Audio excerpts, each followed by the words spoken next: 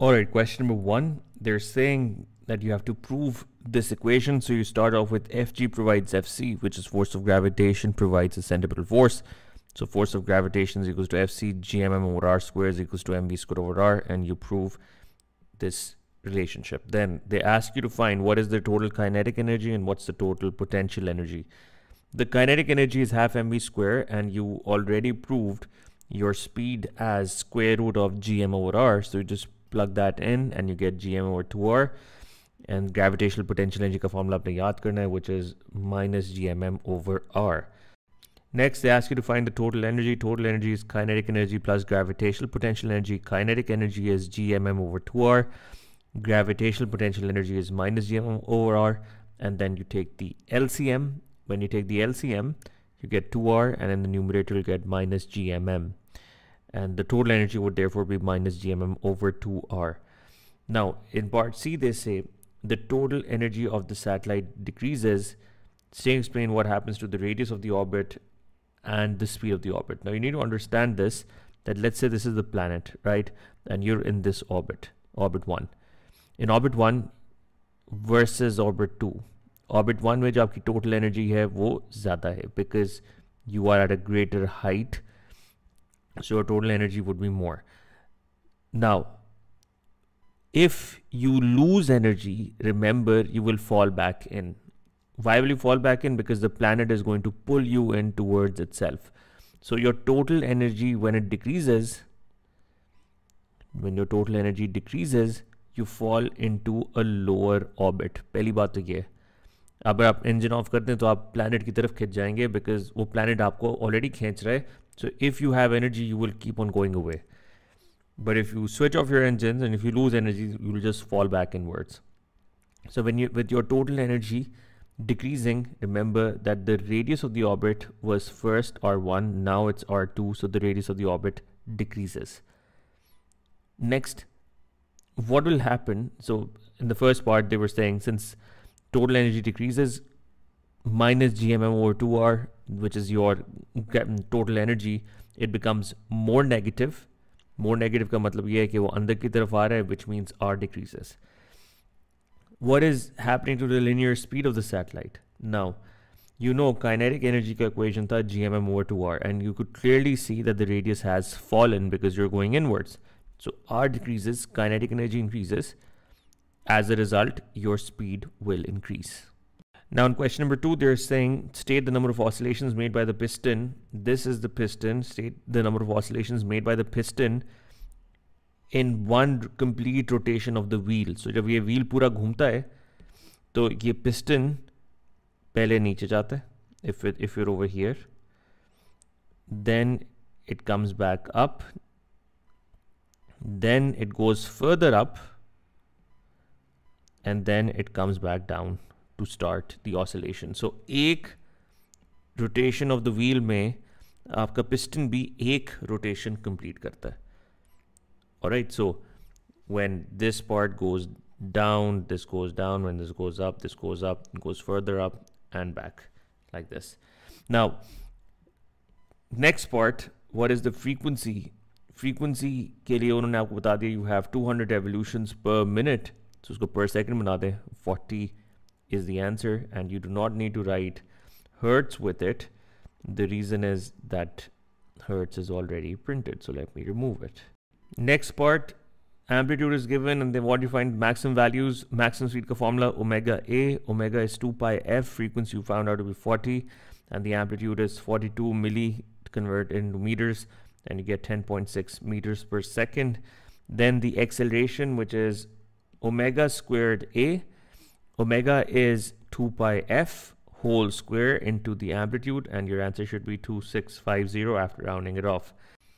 Part C, what is the maximum speed label a position for the pivot? So this is your pivot P you have to label its position. So maximum speed hamesha mean position both hoti. So you could write S over here, you could write S over here, but don't write anywhere else because this is the center of the rotation and you can see that the wheel is spinning about this point. So this is going to be the central line.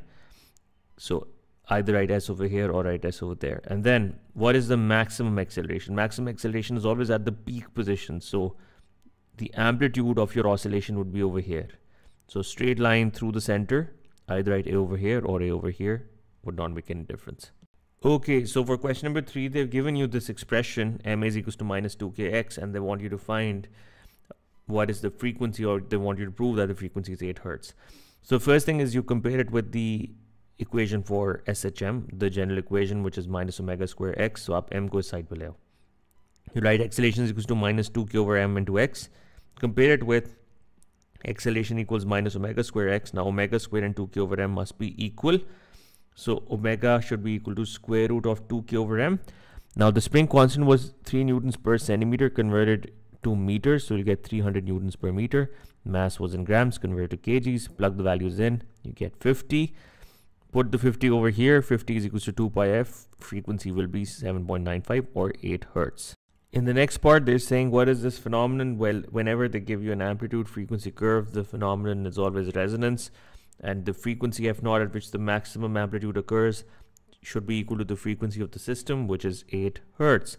Next, suggest and explain how the apparatus could be modified to make the peak flatter without significantly changing the frequency at which the peak occurs. So that means if you don't want to change the frequency at which the peak occurs, you cannot change K or M. क्योंकि अगर K और M की value change करोगे तो frequency जिस पे वो पहले पीक आई थी वो चेंज हो जाएगी सो विदाउट चेंजिंग K और M what should you do you should increase the degree of damping by immersing the system in a fluid वो जो spring system है उसको आप fluid के अंदर डाल दें उसमें डिग्री ऑफ डैम्पिंग आ जाएगी और के और एम भी चेंज नहीं होगा जिससे फंडामेंटल फ्रीक्वेंसी को फर्क नहीं पड़ेगा उसकी Next, define electric potential at a point, the work done in moving a unit positive charge from infinity to a point in an electric field. Now they have given you a potential distance graph and they're asking you to value of x at which the potential is zero. So you can see that the potential is zero at this point. Now, at this point, the distance is 18 centimeters and the distance is being measured from A. So so, आप ए से 18 centimetre दूर आ गए हो इसका मतलब ये है कि आप बी से कितना दूर हैं आप बी से 12 सेंटीमीटर्स दूर है right so use your answers to determine the charge at B. So at this point, the total potential is zero. So VA plus VB is equal to zero at this point. Not everywhere, just at this particular point. So if I want to add more detail, I can say at x is equals to 18 centimeters वैसे आपने ऊपर लिखा हुआ भी है कि 18 centimeters of potential zero है so 18 at x equals to 18 va plus vb must be equal to zero so va which is kq over ra vb which is kq over rb is equal to zero k is a constant and common in both take it out divide by zero so you'll get qa over ra plus qb over rb is equal to zero now charge A is 3.6 in 10 to minus 9, so you put 3.6 in 10 to minus 9, right? Next, let me zoom in.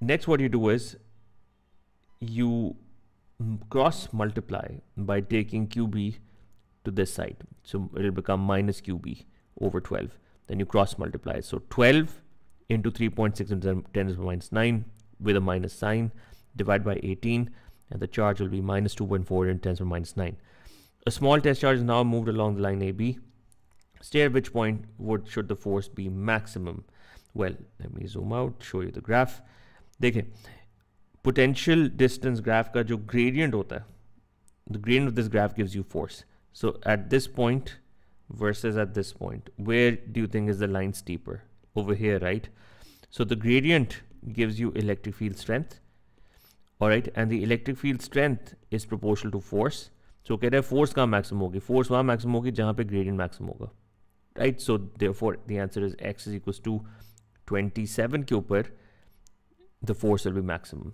Now let me show you the answer. So the negative gradient of the graph, negative का sign हम डालते हैं. Negative gradient of the graph gives you the electric field strength. Gradient is maximum at x equals 27. Since electric field strength is proportional to force, therefore the force is maximum at x is equals to 27 centimeters. Alright, so I want you to underline that this coil has 140 turns of wire the sides are of length 4.5 centimeters and 2.8 centimeters. The coil is held between poles of a magnet. The magnet produces uniform flux density. When the current is 170, the maximum torque produced is 2.1 in 10 to the minus 3. Now you know that the torque will cause this rectangular coil to spin. Let's say the forces are in this direction. And these are forces which are equal and opposite. So they constitute a couple. And you know that the moment due to a couple is always any single force times the perpendicular distance perpendicular distance between the forces all right make sure that you do not forget perpendicular so if you find out either this force or this force कोई सी भी एक force निकाल लो और उसको distance 2.8 centimetre से multiply करो तो आपके पास मोमेंट आ जाना चाहिए और उसने आपको बताया हुआ है the maximum torque produced is 2.1 in 10 minus 3 उसने मोमेंट आपको बताया हुआ है So you can say 2.1 into 10 is power minus 3 is equals to F into 2.10 minus 2.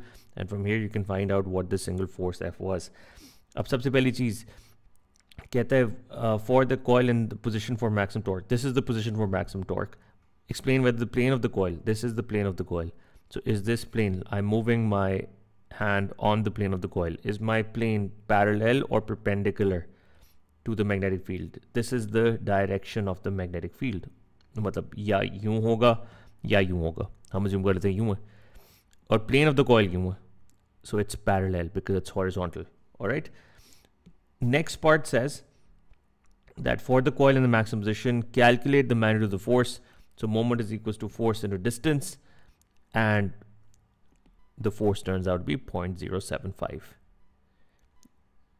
Next, what is the force on side BC of the coil? Well, side BC of the coil will experience no force because that side is parallel to the field. Side ko perpendicular hona. So this is north, this is south, and this is your coil, right? Your side, which is this side, should be perpendicular to the field. So ye side A, B, C, D this side right now is parallel to the field, therefore it experiences no force. Usika show that the flux density between the poles is 70 milliteslas. So force was 0.075 into B, into I, into L, into number of turns. Number of turns, I made you underline the question because this is not just one coil. There are multiple, in fact, there are 140 turns like these. So force is equal to B into I into L into n. And from there you get your B as 0.0700, which is 70 milliteslas. Next part says state Faraday's law of electromagnetic induction. Well, EMF induces directly proportional rate of change of flux, and EMF is N delta phi by delta T. I should write an N over here um, because I've got more than one turn. And then the formula will be NB over T. Number of turns are 140 Flux density is 70 milliteslas, as we found out earlier. Area of the coil. Area of the coil was length into the width. Centimeters को meters में convert किया, divide by the time 0.14 and you get 0.088 volts. Question number six, what is the fundamental property of the charge? That the charge is quantized. The charge on an electron is always quantized. Next, Two parallel metal plates P and Q are situated in a vacuum. The plates are horizontal and separated by distance. Sabse pehla part.